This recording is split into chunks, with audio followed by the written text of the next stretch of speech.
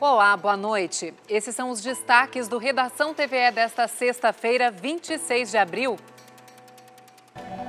Tragédia na capital. Incêndio em pousada no centro deixa 10 mortos e pelo menos 15 feridos. Fogo começou de madrugada e destruiu totalmente um prédio usado como hospedagem para a população em situação de vulnerabilidade social. Cientistas latino-americanos se reúnem em Porto Alegre para discutir o impacto das tecnologias no futuro da sociedade. E tem também as atrações da agenda cultural para este fim de semana.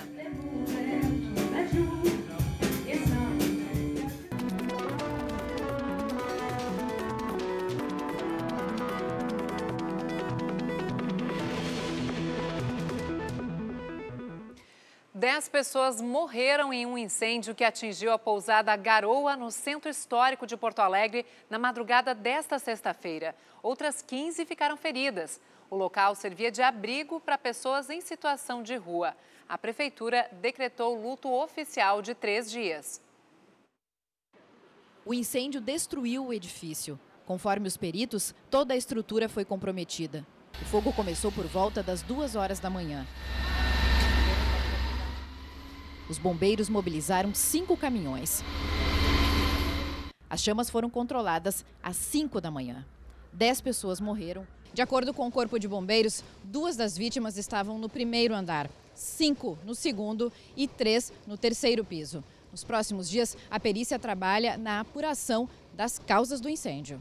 Imediatamente após a extinção do incêndio pelo Corpo de Bombeiros, as equipes da Defesa Civil passaram a realizar o acolhimento das pessoas em outros pontos né, da cidade e a equipe da, do Instituto Geral de Perícias entrou então com as suas equipes para a remoção e posterior identificação dessas pessoas. Concluído essa, esse trabalho da perícia, o Corpo de Bombeiros retorna para dentro do prédio, vai fazer uma nova varredura né, para ver se está em condições de nós interditarmos por definitivo aqui, inclusive, uma estrutura física impedindo acesso das pessoas. É muito precoce ainda detalhar qualquer coisa sobre início e as causas do fogo.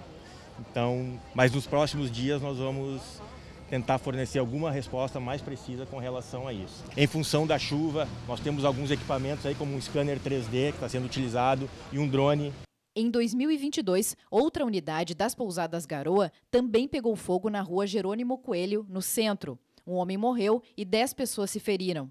A empresa tem convênio com a prefeitura, oferecendo hospedagem social para as pessoas cadastradas no serviço da Fundação de Assistência Social e Cidadania. No local do incêndio desta madrugada, das 30 vagas, 16 são mantidas por essa parceria. São dois prédios, lado a lado, na Avenida Farrapos, 305 e 309. Jorge e Juliana costumam dormir na pousada. Estavam no prédio não atingido. Gritei pro povo, ó, tá pegando fogo o prédio. E foi aquele correrio, tem pessoa que se atirou lá de cima. E foi uma tristeza, eu não gosto nem de me lembrar. Aí eu peguei minha bolsa, peguei a mochila dele e larguei pra fora. E eu, eu, eu, eu saí meio louca de medo, né? Mas eu tive que sair, né? Era uma vergonha. Comida da gente, a gente perdia tudo. Fazia um rancho hoje, botava nas paredes, pendurava as baratas. De noite não dá pra dormir, isso aqui tudo é de barata, ó. Tudo é barato, ó. Também, ó. Tudo é de barata aí, é um lixo essas garoas. O contrato com as pousadas Garoa foi renovado em dezembro de 2023. Segundo o tenente-coronel do 1 Batalhão do Corpo de Bombeiros, o espaço não tinha PPCI. A edificação ela não possuía o alvará, do Corpo de, o alvará de prevenção e proteção contra incêndio do Corpo de Bombeiros Militar. Há um registro de um, de um protocolo no ano de 2019 é, de um PPCI. No entanto, ele, ele nunca foi concluído, ou seja, não, não se solicitou a vistoria para obter o alvará, que é o, o, o documento que certifica que o Corpo de Bombeiros Militar licenciou aquela edificação. E o que a gente percebeu também é que a edificação ela estava funcionando como uma pousada. Né? E o protocolo de um PPCI que, que foi é, dado entrada no ano 2019 era para uma edificação com ocupação de escritórios. Conforme o secretário de Desenvolvimento Social, na renovação do contrato com a empresa foram fornecidos todos os documentos. Ele afirma também que há acompanhamento das pessoas que ficam nas hospedagens sociais. Ela é cadastrada, entrevistada, é estabelecido um vínculo com ela, é construído diagnóstico e é feito inclusive um pacto com ela, uma negociação para que ela cumpra as regras, para que ela se reordene, para que ela frequente os serviços de saúde, os serviços de assistência social. O que temos aqui é um esforço de proteção e ele deu errado. Houve uma falha, houve uma tragédia que nós não sabemos a origem e, portanto, nós temos que blindar isso ainda mais para o futuro. Muito triste. A seguir, a gente traz mais informações sobre esse incêndio. Hoje à tarde teve uma coletiva de imprensa, nossa reportagem acompanhou e mostra tudo para vocês em seguida. Mas agora a gente muda um pouco de assunto para falar sobre uma série de eventos que vão movimentar a capital gaúcha e provocar mudanças de trânsito neste fim de semana. Domingo, Porto Alegre vai receber uma maratona, uma procissão em homenagem a São Jorge e sediar um jogo de Brasileirão. Ainda tem concurso público programado, viu? Por isso a gente conversa agora com o gerente de fiscalização de trânsito da empresa pública de transporte e circulação, Gabriel Boaventura. Seja muito bem-vindo ao Redação TVE. Muitos eventos simultâneos vão estar acontecendo então no domingo e quem tem hora marcada precisa prestar atenção porque, por exemplo, Aeroporto Salgado Filho vai sofrer impactos. Boa noite. Boa noite, Dalva precisamos que a população antecipe os seus deslocamentos devido a essa série de eventos que ocorrerá em Porto Alegre no domingo. Mas de que maneira vai ser impactada a região do aeroporto, por exemplo? Vamos lá, nós teremos a partir da madrugada bloqueios no centro histórico, área norte, devido à maratona New Balance. Tá? Ela vai partir a partir das 6 horas da Redenção, andará pelo centro histórico e deslocar-se-á até a Zona Norte, retornando depois à Orla do Guaíba. Então não vão ter bloqueios permanentes por aí, mas é possível que em função da passagem dos corredores se eh, aconteçam interrupções parciais, momentâneas, e aí pode parar tudo. Teremos interrupções momentâneas e desvios, tanto do trânsito quanto do transporte público. Quais são as principais alternativas nessa região, por exemplo? Quem se desloca em direção ao aeroporto vindo da Zona Sul. A gente está inclusive com algumas imagens no ar aí mostrando o percurso que vai ser feito pela maratona, enfim. Perfeito. Quem se desloca para o aeroporto a partir da Zona Central ou Zona Sul, preferencialmente Túnel da Conceição, Avenida Castelo Branco, BR-290 e depois novamente ali a, o acesso tá, da Avenida dos Estados. Quem está na Zona Norte, preferencialmente, tá? O prolongamento da Avenida Severo Dúlios, a partir da esquina da Rua Dona Alzira com a Avenida Sertório. E ainda tem a meia maratona que vai ficar mais concentrada na zona sul daí, é isso? Exato. Concomitante à partida da maratona do centro, nós teremos a meia maratona, os 10 e os 5 km, que elas partirão ali da, do Golden Lake, tá? Avenida Diário de Notícias, e farão trajetos a meia maratona até o centro histórico, e as corridas menores vão a Edivaldo Pereira Paiva na região do Beira Rio, sempre dentro da área bloqueada. Além disso, a gente tem então a festa de São Jorge. Essa festa movimenta muita gente, é a segunda maior festa religiosa da capital e eh, vai ter missa campal e uma procissão, né? De que maneira vai impactar a cidade? Quais são os alertas para o trânsito? Exato.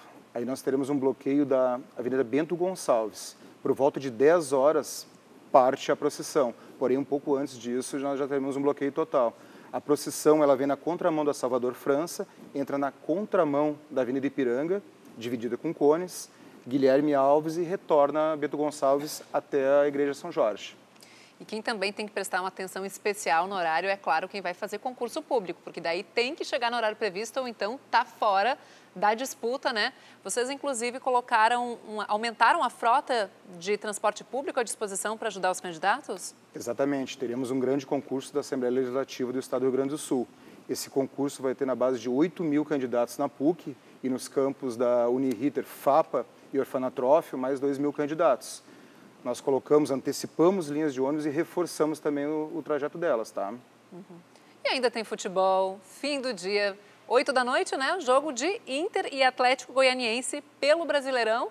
E aí bagunça um pouquinho a região do estádio Beira Rio também. Exatamente. Para finalizar com chave de ouro toda essa situação do dia, ah, como havia falado, 8 horas da noite nós teremos o início da partida. Antes disso, duas horas antes, nós vamos abrir a Edivaldo Pereira Paiva, a partir da Rótula das Cuias, em direção ao estádio para garantir a fluidez viária. Após a partida, a Edivaldo Pereira Paiva, a partir da rua Fernando Lúcio da Costa, ela vai em direção ao centro, somente em direção ao centro de Porto Alegre. É comum acontecerem tantos eventos ao mesmo tempo em Porto Alegre, um desafio extra nesse fim de semana. Muitos desafios, mas a Prefeitura Municipal de Porto Alegre, através da EPTC, está preparada para que façamos o melhor. E para a população que quer saber detalhes de todas essas mudanças, como é que faz? Tem um aplicativo com informações complementares, certo? Perfeito. Pode utilizar os aplicativos Movit, por exemplo, transporte público. Qualquer aplicativo que tenha GPS servirá para auxiliar no deslocamento. E o site da IPTC? Site da Prefeitura Municipal de Porto Alegre e da IPTC. Todas as nossas redes sociais. Facebook, o X, antigo Twitter. Perfeito. Era isso, então muito obrigada por compartilhar com a gente essas dicas aqui, todo mundo ficar de sobreaviso, né? Principalmente quem tiver que ir lá para o aeroporto, né? Pegar avião para ninguém se atrasar, sair com um pouquinho mais de antecedência para garantir mesmo. Muito obrigada. Conversamos com o Gabriel Boaventura, ele que é gerente de fiscalização de trânsito da IPTC. Obrigada e boa noite. Perfeito, uma boa noite. Pensar o futuro exige considerar tecnologia e suas implicações. Para isso, não se pode deixar de lado a ciência. Relacionar esses temas com ações do cotidiano moderno é o objetivo da Brasil JS em 2024, maior evento da América Latina sobre o assunto e que terminou hoje lá no Auditório Araújo Viana, em Porto Alegre. O biólogo e divulgador científico Átila Yamarino foi o primeiro palestrante. Na apresentação, fez um paralelo entre a evolução da vida e da tecnologia. Tecnologia, linguagem, cultura, tem uma série de fenômenos humanos que são análogos ou, ou repetem coisas que acontecem na natureza, como a evolução. Então a gente vê machados ficando mais complexos, mais diversos, picareta, instrumentos, ferramentas, e a gente vive num mundo que está inundado por essas tecnologias que vão surgindo nesse ritmo maluco mas que vem de um fenômeno que é bem parecido com como a vida diversifica. Então é muito legal poder comparar essas coisas e entender por que, por exemplo, o celular está se tornando tão capaz e dominando outras coisas. O público atento à fala também fez fila para registrar o encontro. Brian foi aluno de Átila na Unicamp, em São Paulo. Formado em matemática e física, desenvolve sistemas antifraude, tema de sua palestra. Para ele, o evento permite mostrar que o trabalho dos programadores está na vida prática. Eles permitem a gente ter essa visão macro da coisa. A gente sai dessa bolinha, desse recinto e a gente consegue desenvolver e entender como que o que a gente faz é muito amplo.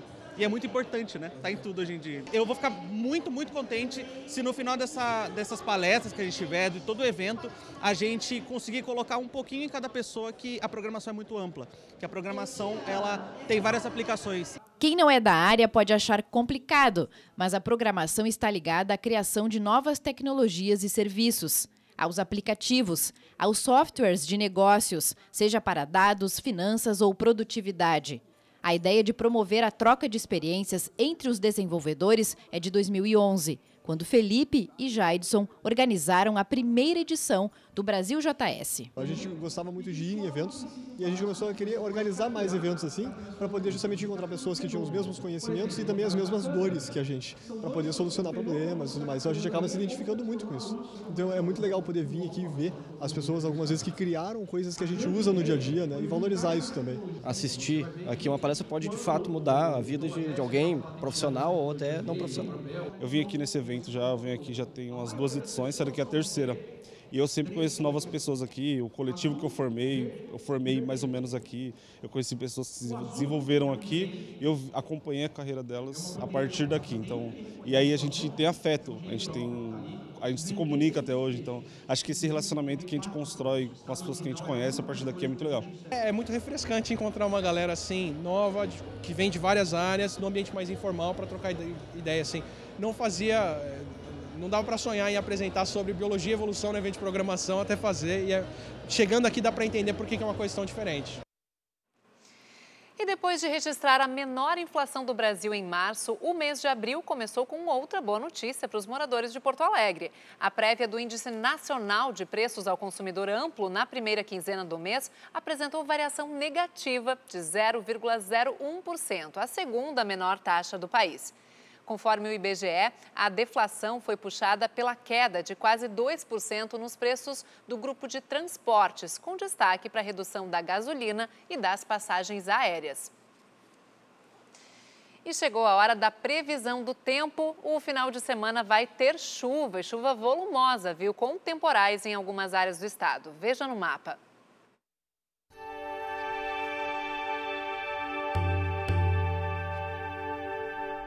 Uma frente fria que avança pelo oceano espalha nuvens carregadas pelo território gaúcho.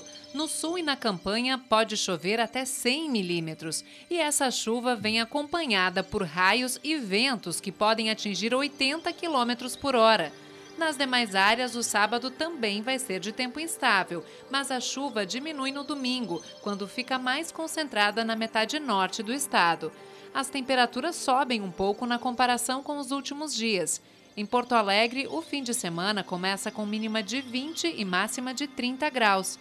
Variação entre 16 e 22 em Rio Grande. E os termômetros sobem dos 19 para os 28 graus em Santa Cruz do Sul.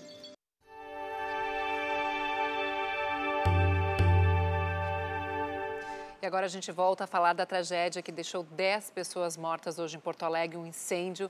Há pouco o prefeito Sebastião Melo falou com a imprensa sobre essa tragédia. E a repórter Simone Feltes acompanhou a coletiva, acabou de chegar aqui na TVE, veio direto para os estúdios conversar com a gente, atualizar as informações. Simone, boa noite, como foi a coletiva?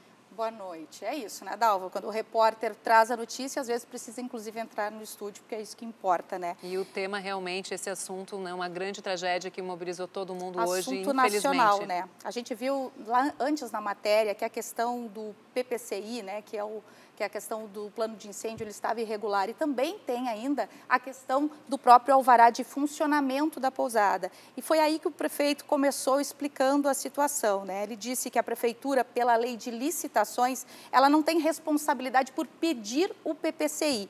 E da mesma forma, uma lei federal também uh, exige somente que a pousada, para ter o seu alvará de funcionamento, ela se autodeclare nessa condição que, que acontece então? A prefeitura não precisava dessas questões para contratar o serviço. Só que, por outro lado, ele fez a meia-culpa e disse que precisa verificar as questões de fiscalização. Vamos acompanhar então uma parte aí da fala do prefeito. Não é pelo fato de não estar na licitação que não tem que ter PPCI. O contrato que nós assinamos, ele tem que ser adequado pelo serviço que nós contratamos. Nós contratamos um serviço, a empresa veio e se habilitou no modelo de credenciamento e ela cumpriu os ditames que a lei assim estabeleceu, mas não está dispensada de ter PPC. Então, isso é uma responsabilidade da empresa. Essa empresa tem 12 anos acolhendo pessoas da sociedade de Porto Alegre, do Rio Grande do Sul, pessoas que moram lá ou que dormem lá. Nós contratamos ela, o primeiro contrato veio do governo anterior, o segundo agora do nosso governo, mas ela tem 12 anos na existência de pousada na cidade de Porto Alegre. Tanto é que os seus clientes não são, não tem vagas que é da FASC, mas tem muito mais pessoas que estão lá que não são da FASC, nesses 23 espaços. Então, nós aqui tomamos hoje algumas providências. A primeira delas é que eu abri aqui um inquérito, uma, uma investigação preliminar sumária sobre o contrato com esta empresa. Tá? Porque tem fiscais de contrato, fiscal de contrato sobre esse tema criei uma força-tarefa com várias secretarias, porque são 22 lugares além daquele do triste episódio, e eu vou verificar em loco as condições de todos esses locais. E terceiro, né, dizer que né, nós vamos, evidentemente, nessa análise, ver o que, é que nós vamos fazer para frente nessas próximas licitações. Porque aqui eu vou envolver nessa discussão a Defensoria, o Ministério Público, a Câmara de Vereadores, a Prefeitura, nós temos que estar todos do mesmo lado. Inclusive, Dalva, porque é, são vários contratos os que, as, os que a Prefeitura tem nessa modalidade. Então, essa força-tarefa provavelmente deve ter reflexo em outros tipos de contratação da Prefeitura. E Simone, hoje do lado de fora, durante a coletiva, teve é, movimentação né, de grupos sociais, movimentos sociais, que estavam reclamando, comentaram que já haviam alertado sobre esses riscos, é isso mesmo? É isso, quem estava do lado de fora era o jornal Boca de Rua, inclusive um jornal que é feito pelas pessoas em situação de rua há mais de 20 anos. Disseram, inclusive, que não foram possibilitados a, a, sua entrada, uma coisa que a gente não conseguiu apurar, e disseram, mostraram, né, a partir daquele incêndio anterior, que já tinham mostrado, a gente não vai conseguir mostrar as imagens, mas prometemos elas para segunda-feira, para mostrar também esse lado aí da situação da irregularidade lá dentro da pousada. Para fechar, números atualizados, mortos são 10 e os feridos? Isso mesmo. Então, entre as pessoas que estão que procuraram atendimento no HPS e também no Cristo Redentor, foram ao todo 15 pessoas. Oito ainda estão internadas, sendo que duas em estados mais graves, porém elas estão estáveis, consideradas que não correm mais risco de morte, tá? Cinco pessoas foram liberadas e dois ainda estavam em atendimento ou em observação por causa da questão da inalação de fumaça. E outra coisa, Dalva, em relação às vítimas, o IGP também uh, notificou hoje que cinco pessoas já foram identificadas pela papiloscopia, pela impressão digital, que eram os casos que era possível fazer assim. Quatro homens e uma mulher não deram as idades nem as identificações por questão de proteção dos dados, né? Mas as outras continuam sendo uh, investigadas. E a gente vai continuar acompanhando esse caso, as investigações e também o estado de saúde de quem segue hospitalizado. Simone, muito obrigada por sua participação ao vivo hoje é aqui, isso. além de estar na rua, no estúdio da TVE. Boa noite. Boa noite. E agora a cultura. Até domingo está rolando pela cidade a vigésima edição do Festival de Cinema Fantástico de Porto Alegre. A nossa reportagem acompanhou uma das sessões. Olha só.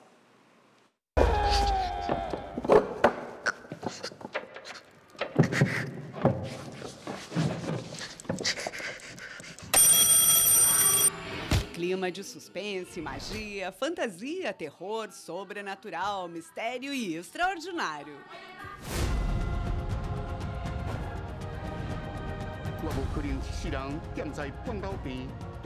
Com uma seleção diversificada de filmes que exploram o fantástico, desde os clássicos do gênero até produções contemporâneas de tirar o fôlego, o Fantaspoa desafia limites da imaginação, oferece reflexões sobre questões existenciais e sociais e proporciona uma experiência única para os amantes dessa vertente do cinema.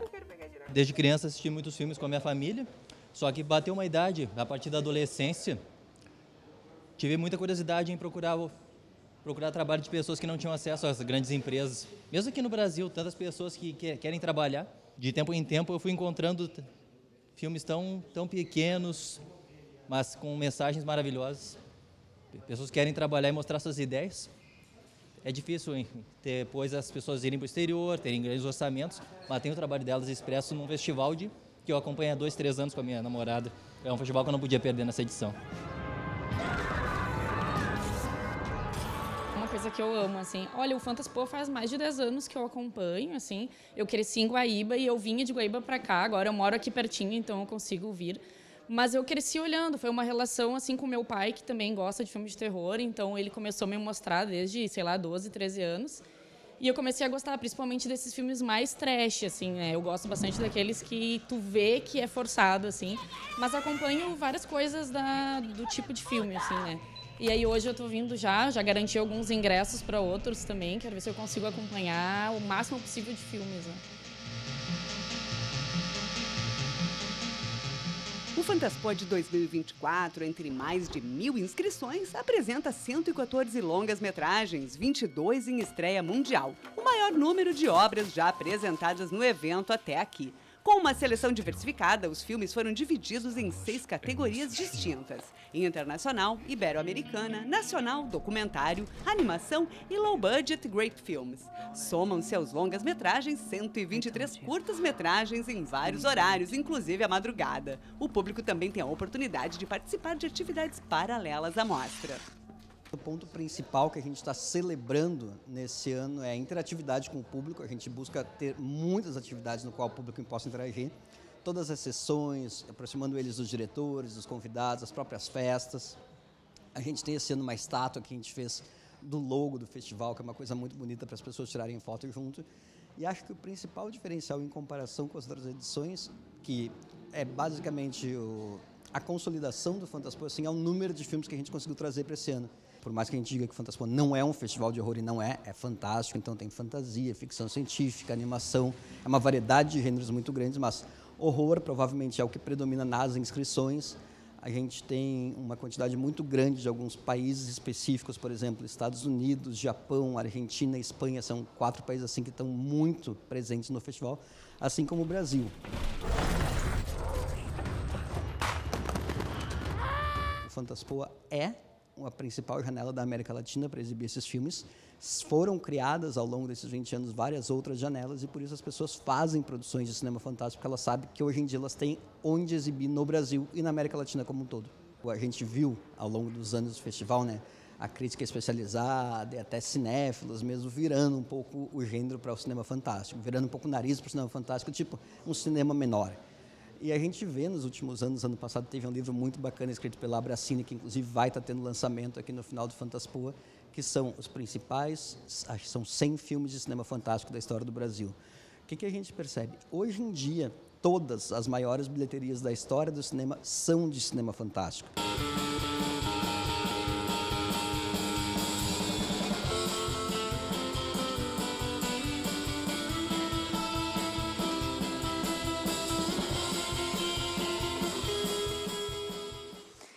Programação cultural do fim de semana também tem muita música em diferentes estilos. Olha só a nossa agenda. Chega de. Daqui a pouco, às sete da noite, Luciano Nascimento faz o show Delicadeza Afiada, no Teatro Olga Reverbel, do Complexo do Teatro São Pedro.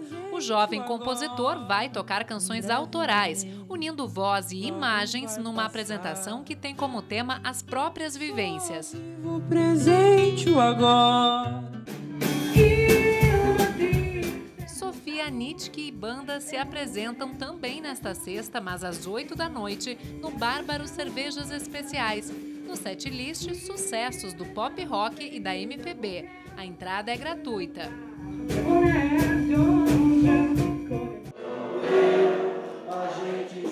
O conjunto Roda Viva é a atração de hoje às 11 da noite no Espaço Cultural 512 os músicos interpretam a obra de Chico Buarque, um dos maiores compositores da música popular brasileira, que vai completar 80 anos em junho.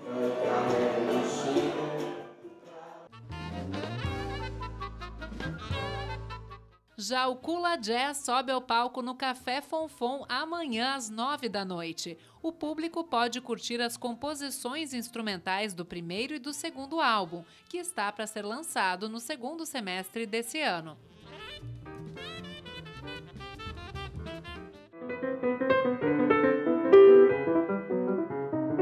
Também amanhã às nove da noite tem show de Salomão Soares no Espaço 373. Compositor, pianista e arranjador, o artista paraibano está inovando na forma de apresentar ritmos brasileiros. Inclusive, vai ministrar uma masterclass sobre o assunto no domingo.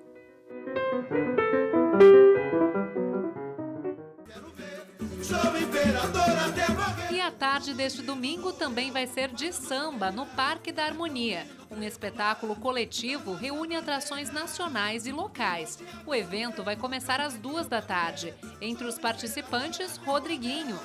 E a escola Imperadores do Samba.